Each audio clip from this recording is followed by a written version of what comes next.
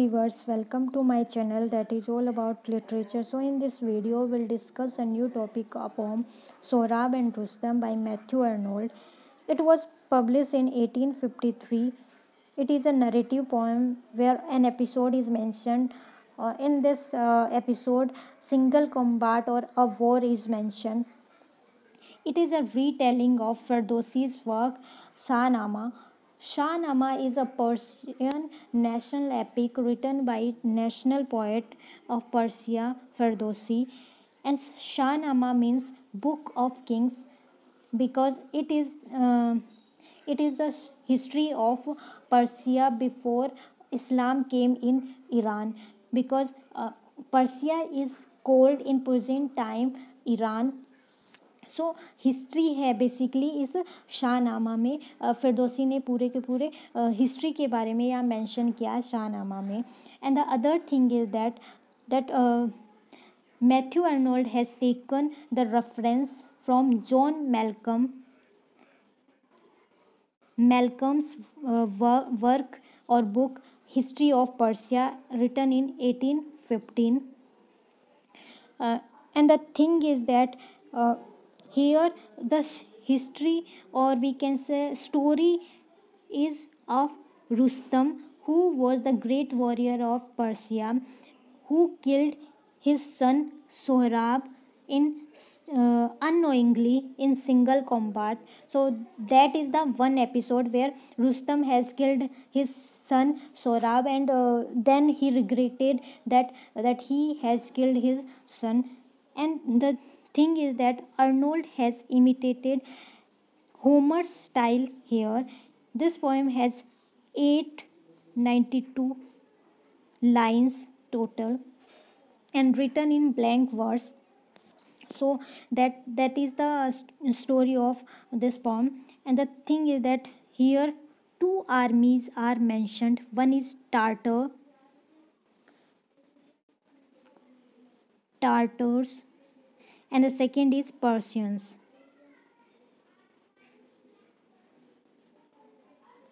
Persians. There are two armies here, and the leader of Tartars were uh, was Sohrab, and uh, Persians army's leader was Rustam. They were the father and son, but they didn't know uh, each other that they are the father and son. The thing is that, and here Sohrab Sora means child of smile.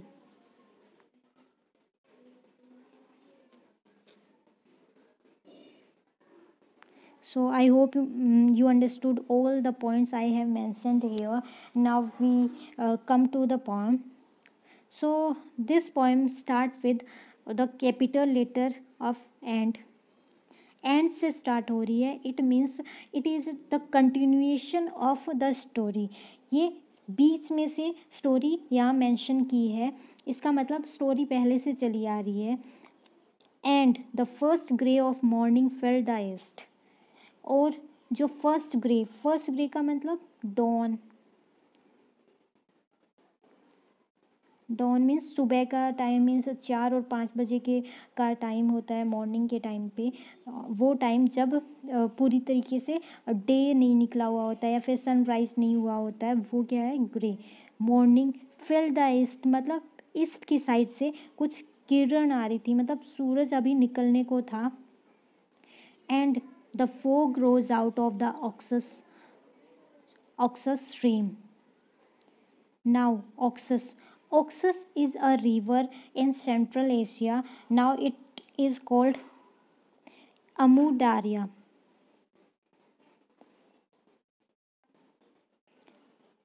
Central Asia में आते हैं आपके Iran Afghanistan Turkey and many more countries जैसे अगर हम बात करें southern Asia की तो वहाँ ब्रह्मपुत्र रिवर है, जो होली रिवर माना जा, मानी जाती है। वैसे ही ऑक्सस रिवर रिवर है, वो भी होली रिवर मानी जाती है सेंट्रल एशिया में।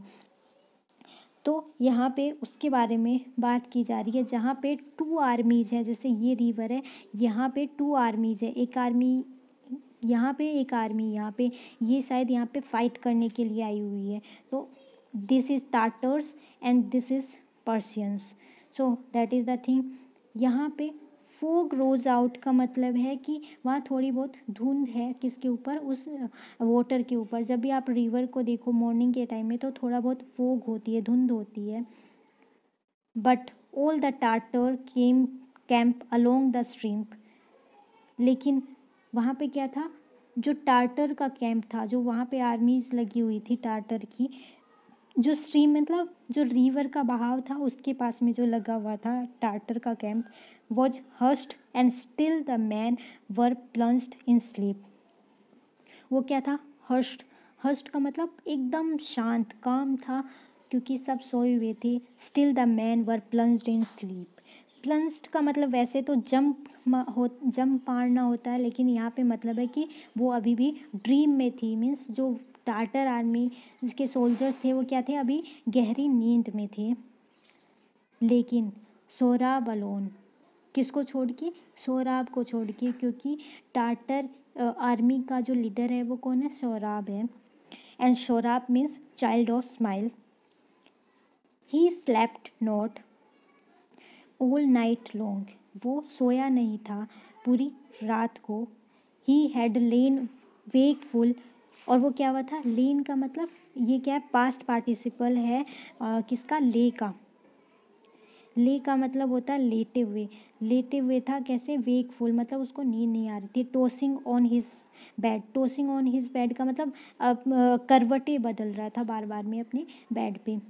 But when the grey dawn stole into his tent लेकिन जब ग्रे डॉन का मतलब जो थोड़ी सी किरणें आई, सूरज की किरणें आई उसके टेंट के अंदर में, जब उसको पता चला कि डे निकल गया है, तब ही रोज तब वो उठा एंड क्लेड हिमसेल्फ क्लेड का मतलब होता है जो पर्टिकुलर क्लोथ्स पहनी जाती है। पर्टिकुलर क्लोथ्स का मतलब जो सोल्जर्स और जो आर्मीज़ में जो क्लोथ्स पहने जाते हैं, जो मतलब जो भी उनका डिफरेंट कलर के, उनके सोल्जर्स की जो फाइट करने के जो क्लोथ्स है, उनको बोला जाता है क्लेड तो उसने वो जो आर्मी की जो ड्रेस है, वो उसने पहनी एंड गेट हिज शोर्ड गर्ट का मतलब होता है जैसे जो वेस्ट में तलवार को जो बांधते हैं मीन्स जो बेल्ट के अंदर में अपनी सोड को डालते हैं, वो क्या होती है? गर्ट होती है and took his horseman's cloak अब उसने क्या लिया? हॉर्स मैंस क्लोक मीन्स जब घोड़े पे बैठते तो उससे पहले एक लबादा सा पहना जाता है। बहुत लूज लूज सा एक क्लोथ पहना जाता है। वैसा अगर you can search on Google cloak तो आपको वहाँ पे दिखाई दे देगा। तो उसने वो हॉर्स मैन का क्लोक पहना एंड लेफ़्ट हिज टेंट और उसने अपने टेंट को छोड़ दिया and went abroad into the cold wet fog और वो बाहर गया। अब्रोड मीन्स अब्रोड इसलिए बोला है यहाँ पे, जैसे वो रिवर है ऑक्सस रिवर है, उसकी, वो कैसी है? क्योंकि वो उनकी खुद की जगह नहीं है, वो वहाँ पे फाइट करने के लिए आए हैं, वो स्ट्रेंज जगह है तो अब्रोड किसको बोला है? स्ट्रेंज जगह को, वहाँ बाहर की तरफ़ गया, किसमें? वो जो ठंड थी मे भी किस टाइम पे गए हैं ये? सुबह के टाइम में थोड़ी थोड़ी सी ठंड होती है उस टाइम पे। Through the dim camp to Peran Wisa's tent. कहाँ पे जा रहा है वो? उस डिम कैंप में। डिम मीन्स बहुत धुंधला सा दिखाई दे रहा है, क्योंकि सुबह पूरी तरीके से नहीं हुआ है। इस वजह से वो बहुत धुंधला सा दिखाई दे रहा है किसका? परान वीज़ा का टेंट। परान वीज़ा कौन है? जर्नल है किसका? टार्टर आर्मी का। ये बहुत इम्पोर्टेंट करेक्टर है इस पूरे पॉम में।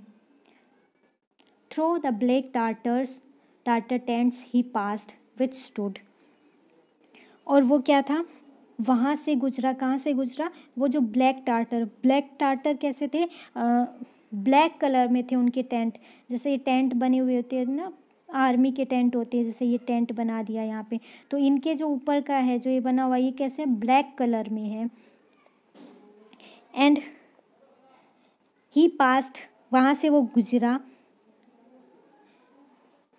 एंड ही स्टू विच स्टूड और जो क्या था? स्टूड का मतलब है, वहाँ पे खड़ा था। मतलब वो ऐसे टेंट थे, उसमें सब के सब सोल्जर्स सोए हुए थे और वो वहाँ से गुजरा। मीन्स ये है, इस तरीके से स्टूड था। मतलब यहाँ पे बहुत सारे टेंट बनाए हुए। Clustering like beehives on the low flat strand clustering मतलब छोटे जो ग्रुप होते हैं छोटे छोटे ग्रुप बना दिए जाते हैं। किसके थे? टेंट्स के थे। ऐसे लग रहे थे वो बी हाइव्स हो मतलब मधुमक्खी के छत, छत्ते जैसे लग रहे थे, क्योंकि इसके साथ में उसने और बना दिए हो। इस तरीके से बहुत सारे टेंट्स बने हुए थे। On the low flat strand low flat strand का मतलब है वो रस्सी के सहारे लगे हुए थे मीन्स जो आप कभी भी आपने अगर मूवीज़ देखी हो, या जो बहुत पुरानी मूवी जो जिसमें फाइटिंग का सीन हो, या फिर हिस्टोरिकल मूवीज़ देखी हो, जिसमें टेंट्स बने हुए थे तो वो कैसे थे? इस तरीके से, और यहाँ पे उनको रस्सी बांधी जाती थी, और वो यहाँ तक जाती थी, नीचे तक जाती थी, वैसे सी टेंट लगे हुए थे। ऑफ़ ऑक्सेस कहाँ पे? उस रिवर के पास where the summer floods overflow जहाँ पे समर के टाइम में वो क्या होती थी? ओवरफ्लो होती थी। When the sun melts the snows in high Pamere जहाँ पे क्या होता था?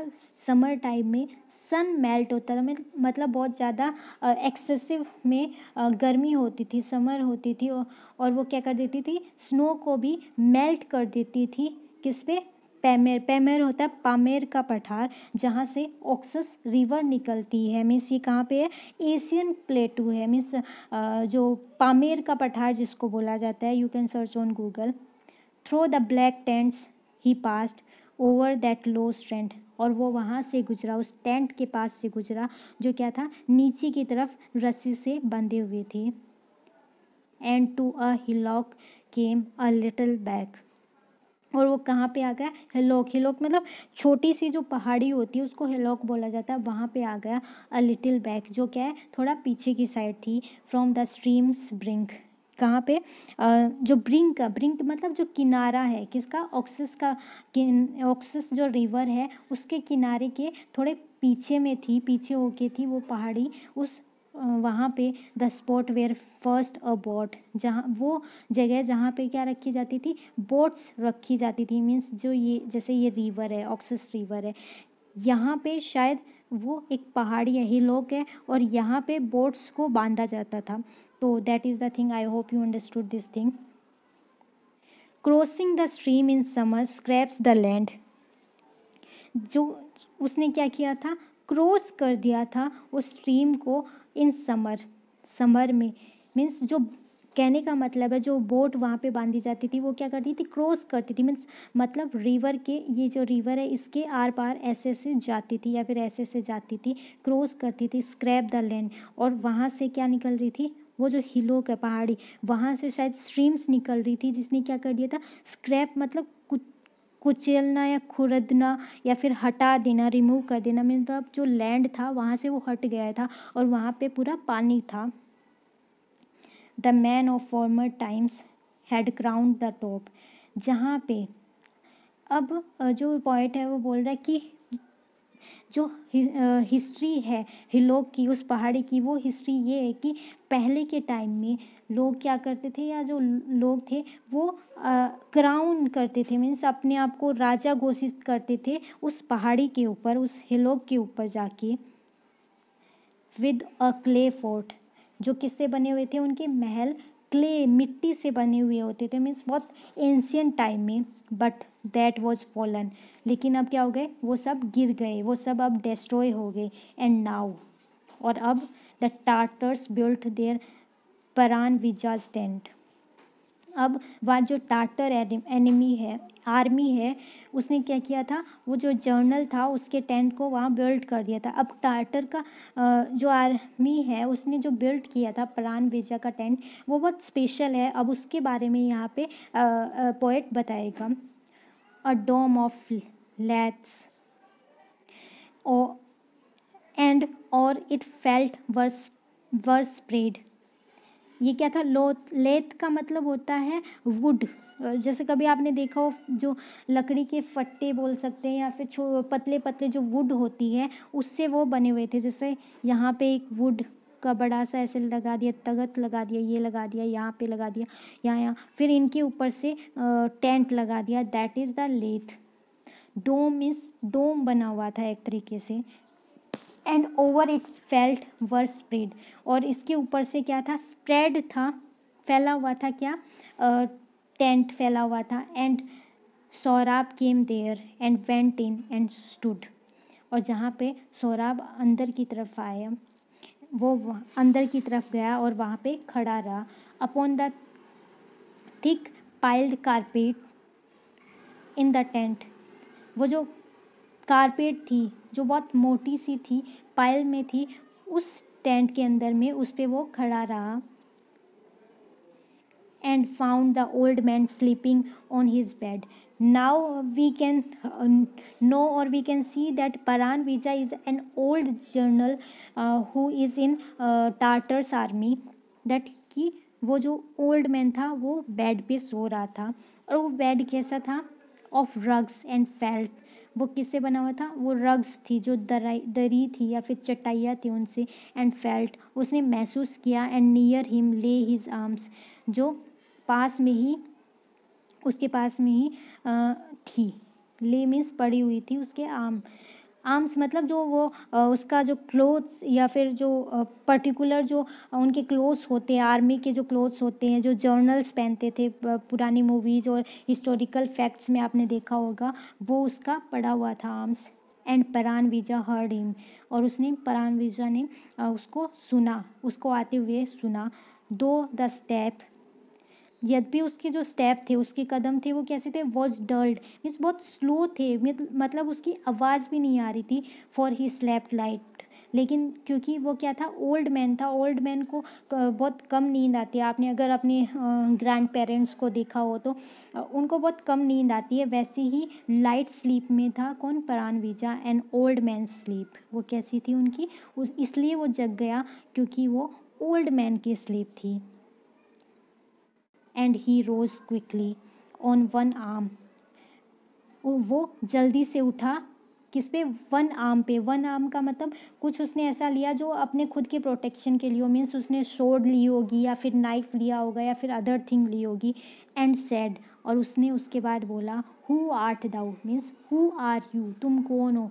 For it is not yet clear dawn अभी तक क्या वो नहीं हुआ? डोन सुबह जल सुबह नहीं हुआ। पूरी तरीके से सुबह नहीं हुई।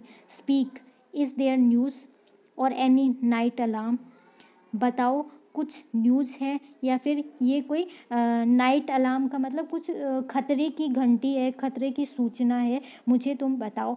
किसने बोला? परान बीचा ने बोला। I hope you understood these things we'll discuss in next video. Till then bye. Have a nice day.